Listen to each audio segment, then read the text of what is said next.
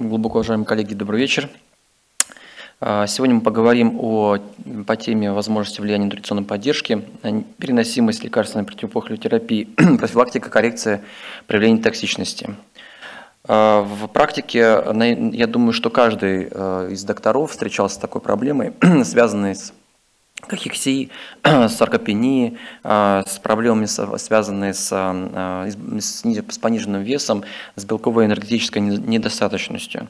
И, конечно же, позиция любого диетолога или гастроэнтеролога, она звучит и обосновывается, что лучше предупредить кахексию, нежели ее лечить. Это все сложнее, это всегда а, больше ресурсов, вкладывается в пациента. И, конечно же, на ранних этапах это гораздо проще и результативнее. Э, частота проявления в моей практике я обосновал такими тремя большими широтами. То есть э, на первом месте я поставил диарею, то, что пациенты после химиотерапии э, по частоте встречаемости, особенно после назначения таргетной терапии, очень частое явление осложнений таких пациентов. Снижение веса на втором месте и тошнота на третьем. Недостаточность питания причины есть как первичного, так и вторичного характера. А, первичная оценка снижения объема потребляемой пищи и анорексия. Ну, а, чаще всего причиной является то, что Изначально, если а, мы собираем пищевой анамнез таких пациентов и видим, что пациент на, ранних, на раннем этапе он не имеет э, хорошего, ну, нормального рациона, нормального колоража, хорошей белковой квоты в рационе, конечно, э, таких пациентов нужно корректировать еще до проведения химиотерапии. Э, вторичное повреждение – это непосредственно влияние опухоли, в вторичной трогенной, то есть химиотерапии, ну и вторичная опухолевая, опухолевое влияние, которое влияет на э, снижение, на дефицит веса и э, снижение индекса массы тела. Диагностика, которая используется чаще всего в стационарах, это индекс массы тела, Динамика потери массы тела, то есть ведение дневника, э, ведение пищевого дневника и э, адекватный э, сбор пищевого анамнеза, для того, чтобы, опять же, как я уже говорил, коррекция на ранних этапах терапии, длительность тяжести онкологического заболевания. Ну, есть опросники, мы чуть ниже о них поговорим. А, первичный скрининг очень простой. А, четыре вопроса. А, индекс массы тела, который может любой врач на амбулатории посчитать. Это несложная формула, все ее, я думаю, коллеги знают. И значит, э, наблюдалась ли потеря веса на протяжении предыдущих трех месяцев, было ли снижено питание на предыдущей неделе, и если страдает пациент серьезным заболеванием, проходит он интенсивную терапию или противоопухолевое лечение, или уже на подготовке. Если любой ответ с оценкой «да», то мы проходим следующий блок скрининга. Э, в котором э, идет бальная система э, оценки потери массы, и, и здесь имеется степень тяжести, если 5% за последние 3 месяца первая степень, вторая более 5% за последние 2 месяца и 3 балла, когда потеря массы тела более 5% за месяц или индекс массы тела, изначальный индекс массы тела у пациентов около меньше 19. Такие пациенты имеют э, высокий риск э, нутритивной недостаточности, если их не подготовить заранее перед проведением химиотерапии перед э, проведением хирургического лечения, конечно, э, риск потери веса и уход в кахексию очень высокий. Опросник СИДЖА более сложный, но тем не менее более объективный. А, здесь оценивается по критериям потери веса последние 6 месяцев, пищевой рацион, симптомы, функциональная способность а, в плане пищеварительного тракта и усвояемости, подкожный жир, мышечная масса и э, наличие асцита. Степень нутриционной недостаточности он а, базируется на а, так называемом висцеральном пуле белка, где оценка идет по анализу крови и оцениваются следующие показатели. Это альбумин, общий белок, количество лимфоцитов в миллилитрах на кубическими и дефицит массы тела от идеальной массы тела, ну, или просто хотя бы индекс массы тела оценивать. Самый значимый является альбумин, по нему можно судить критерии оценки, потому что общий белок не всегда является объективным показателем для оценки белковой энергетической недостаточности, когда мы видим, что общий белок в норме, альбумин достаточно низкий. Нужно уже таких пациентов корректировать нутритивной поддержкой. Значит, кому назначать? Еще раз а, повторимся. То есть всем пациентам с быстро прогрессирующей массой тела, потерей массы тела, составляющей более 2% за неделю, 5% за месяц и более 10% за квартал. Всем пациентам, имеющим сходные признаки гипотрофии, то есть индекс массы тела, как я уже говорил, меньше 19, а гипопротеинемия менее 60, гипоальбуминемия менее 30. В идеале перед проведением, опять же, химиотерапии эти показатели необходимо уточнять для того, чтобы вовремя корректировать таких пациентов. Ну и всем пациентам, имеющим высокий риск, то есть подготовка к хирургическому и химиолучевой терапии, в принципе, в нормальном, скажем, назначении хотя бы частично сиппингового питания уже будет достаточно, чтобы его вовремя корректировать. А, скрининг а, оценивается, как я уже говорил, по, а, если мы говорим трофологический статус, это два пула белка, соматический, висцеральный. Все они не сложенные. А соматический пул белка, как я уже говорил, оценивается по индексу массы тела и по окружности мышц плеча. Висцеральный пул белка оценивается по анализу крови, общий, общий белок, альбумин, трансферин. Но если есть возможность, то, конечно, в идеале смотрите периальбумин. Это самый ранний показатель, э, критерий снижения или дефицита массы тела. Функциональность желудочно-кишечного тракта, на котором оценивается хронические заболевания, а, особенно такие как эрозии, эрозивные повреждения слизистой желудка, пищевода, а, гастроэзофагальная рефлюксная болезнь, которые очень часто встречаются таких пациентов, а, при, особенно при, при проведении химиотерапии.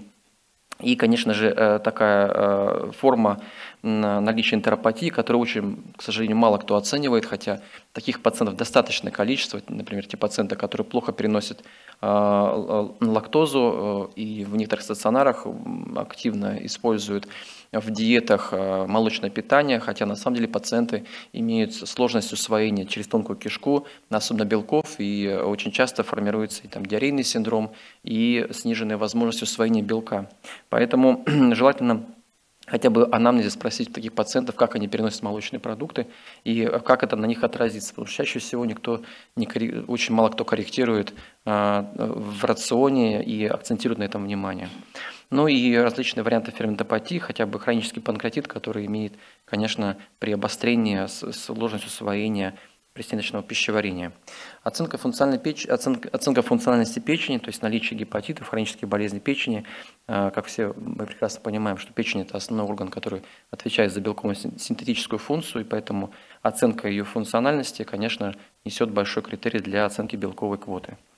Пищевой статус а, Здесь все несложно. Режим питания, то есть интервал в еде, спросить пациента, как он ест, сколько он раз в день употребляет пищу, какие интервалы в еде.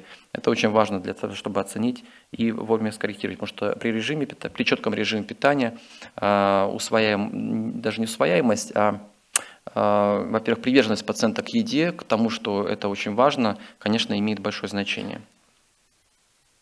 Предикторы, которые могут развить нежелательные явления со стороны желудочно-кишечного тракта – следующее, то есть при диарее очень важно э, понимать, что хронический панкреатит может э, создать условия для, особенно с секреторной недостаточностью, которая может э, создать условия диареи. Наличие основных видов энтеропатии, то, что мы сегодня говорили, исключение синдрома избыточного бактериального роста, то, что пациенты часто жалуются на постоянное газообразование, вздутие, нарушение стула, это уже, в принципе, является таким симптомами и критериями для постановки такого диагноза.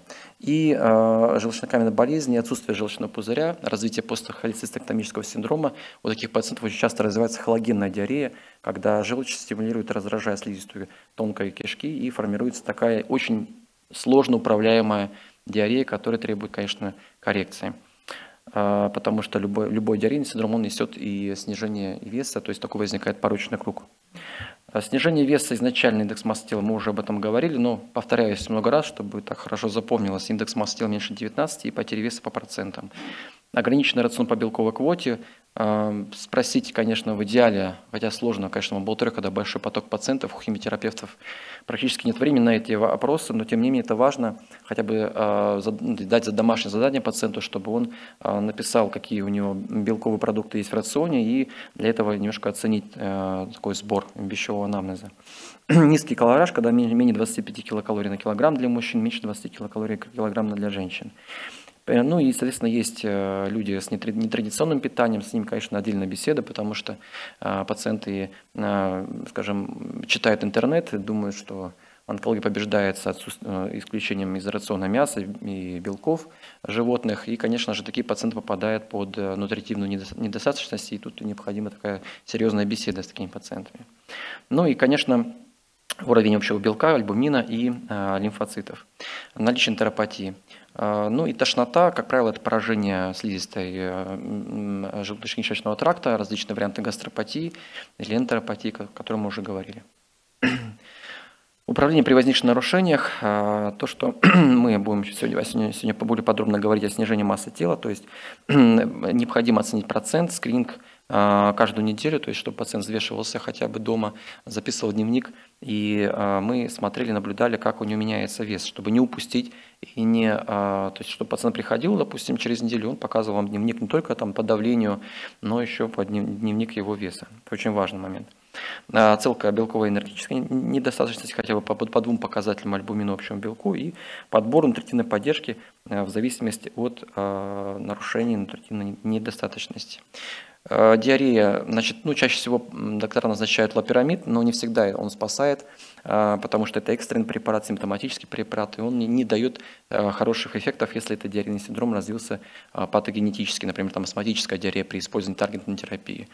А, которые нужно использовать и сорбенты различного профиля, большие дозы ферментных препаратов, не меньше 25-40 а, тысяч за прием пищи, не надо бояться, потому что до 100 тысяч единиц за сутки а, поджелудочная железа может спокойно, как говорится, стерпеть и усвоить такое количество.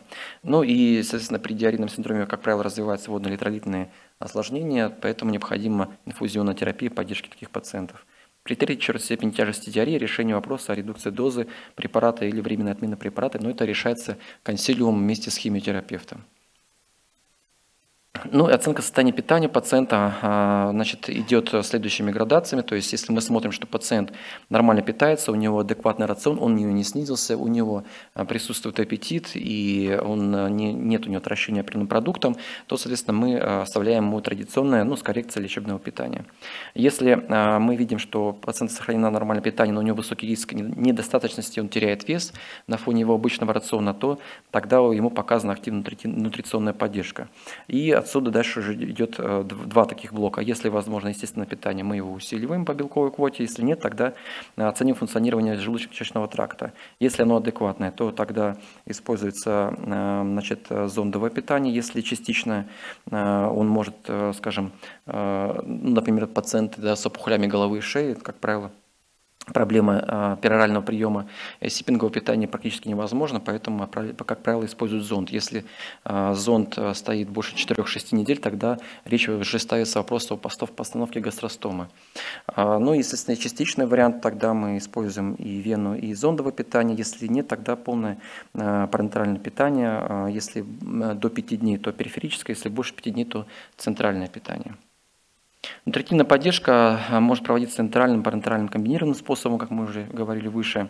Расчет объемов нутритивной поддержки проводится с учетом показателей идеальной массы тела. Ну и в среднем это является таким образом. Белок, белок от 1,5 до 2,5 грамм на килограмм в сутки. Но это очень э, общие цифры, потому что все зависит от того, э, какая степень тяжести нутриционной, э, нутритивной недостаточности. И оценка идет уже в зависимости от потери массы и активности потери массы. Жиров от 0,5 до 1, до 1,5 грамм на килограмм в сутки и глюкоза от 2 до 6 грамм. Традиционные последствия радикальной резекции органов пищеварительного тракта, отдельно я остановился на этом вопросе, потому что после, э, постоперативные, э, послеоперативное э, скажем, время пациентов, оно, конечно, сказывается на различных вариантах осложнений таких пациентов. Если, особенно вот обращая внимание на резекцию желудка, которых у пациентов формируется достаточно часто демпинг-синдромы, и, естественно, что они попадают под риски развития различных анемий, особенно B12 дефицитной анемии. Очень важно пациенту написать или или в, в скажем, в заключении, или в выписном эпикризе, где обязательно а, должна быть оценка через 3 месяца, хотя бы через 6 месяцев оценки ферритина, железа сывороточного, а, оценка белка, общего белка альбумина и B12 а, с фолиевой кислотой. Потому что, как правило, через этот срок у таких пациентов развивается дефицит этих, этих состояний, которые необходимо вовремя корректировать. А, э, соответственно, синдром короткой кишки, где нарушается всасывание глюкозы, жиров, белков, фолиевой кислоты. А, если происходит резекция воздушной кишки, такие пациенты попадают под высокий риск развития э, дефицита витамина В12 и э, желчных кислот развивается очень часто хологенная диарея, о которой мы говорили выше. И э, если удалена тощая подвздошная кишка, то, как правило, всегда формируется синдром малоабсорбции, э, нарушение всасывания, особенно белков и жиров. Значит, различные варианты, очень много на рынке сейчас нутритивной поддержки различных фирм. Я, мы, я остановлюсь на компании Нутриция, которая достаточно большая линейка сопроводительной терапии. И здесь, например, представлены вариант, два таких варианта, где используют пероральное сиппинговое питание, которое часто очень используют, и зондового питания или гастростома, где проводится комбинация нутризона. А, ну, например, как выбрать специализированное питание, такая очень общая такая, э, значит, здесь градация этих показателей, где мы видим, что э, если невозможность воспринимать достаточный объем пищи, но высокая потребность, тогда используют малые объемы сиппингового, то частичного питания, хотя бы одна или две бутылочки в день. Э, пить необходимо, становится очень важно на этом моменте, что нельзя залпом выпивать эту бутылочку, как йогурт питьевой, а необходимо использовать трубочку, которая обычно, скажем, применима к этим а, бутылочкам и пить, постепенно, медленно, а, желательно, чтобы он был теплый, а, этот продукт, и чтобы этот, этот компонент хорошо усваивался, потому что часто очень пациенты делают такие ошибки, достаточно простые. При мукозидах используют питание, обогащенное омега-3 полиненасыщенными жирными кислотами, которые обладают очень хорошим противовоспалительным, противовоспалительной активностью слизистых. При нарушении стула используют питание с пищевыми волокнами, если Э, проблема, связанная с затруднением стула запорами, тогда используют нерастворимые пищевые волокна. Если э, у пациентов наоборот э, формируется, то назначается нутритивное питание с пищевыми волокнами легко растворимыми. Ну и при использовании различных вкусов, в зависимости от влияния тошноты, нарушения вкуса, есть и кислые, есть нейтральные, то есть разнообразная линейка. И, а, соответственно, это варианты уже для зондового питания и питания через гастростому. А, мы используем достаточно часто нутризон пептисорб на, на этапе энтеропатии, особенно у кого резко понижена способность усвоения нутриентов, синдром короткой кишки с выраженной ферментопатией. А, эта смесь считается олигомерная, то есть те белки, которые сразу напрямую усваиваются без расщепления, без необходимого расщепления и создают условия повышения, скажем, снижения рисков нутритивной недостаточности. Ну и пациентов есть еще метаболические направленные смеси, например, как там э, нутризон диазон, где используют пациентов с сахарным диабетом. Э, и также э, питание, где содержится большое содержание белка и умеренная энергия, да, где белковая квота очень низкая у пациентов или низкий, допустим, уровень альбумина. Ну и заключительная рекомендация при противопыхотерапии, подытоживая такой, скажем, э, э, нутритивный статус, то есть использование высокого белкового питания сиппинга э, является более предпочтительным, потому что, как правило, такие пациенты попадают под риски низкого, низкого белка. Предпочтительно использовать нейтральное питание, обогащенное фармаконутриентами, омега-3 жирными кислотами, антиоксидантами, глутамин. При пробиотике те вещества, которые обладают активным противовоспалительным компонентом. И рекомендуется использование перорального нейтрального питания питания для профилактики потери массы тела, соблюдения плана лечения. То есть, как правило, все равно таких пациентов не, э, желательно сопровождать э, и э, создавать для них условия. Ну и, конечно же, большинство больных нуждается в продолжении нутритивной поддержки на амбулаторном этапе. Спасибо за внимание.